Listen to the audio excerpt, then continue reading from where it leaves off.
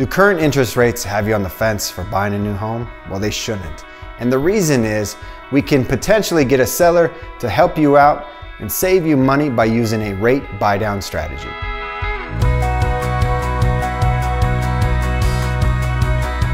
Interest rates historically go up and down. Sometimes they're higher than you'd like, and sometimes they're incredibly low. And an interest rate on your mortgage impacts your monthly payment and the cost over the life of the loan. So getting the lowest interest rate possible is a great idea to stretch your purchasing power, save on the cost of the life of loan, and keep more cash in your pocket every month.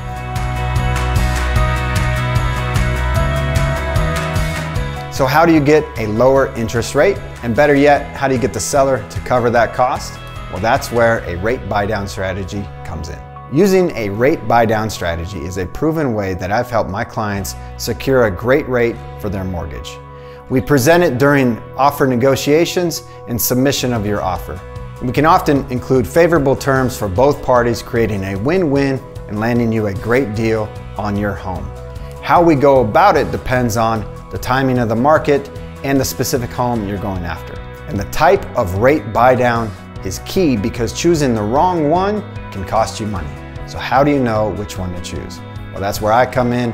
And with our lending partner, we craft a strategy that fits your needs and gets you a great rate on your next home. So when you're ready to get started, go ahead and message me today. I'm easy to get a hold of. I appreciate you watching. I'm Brian Davis. I'll see you in the valley.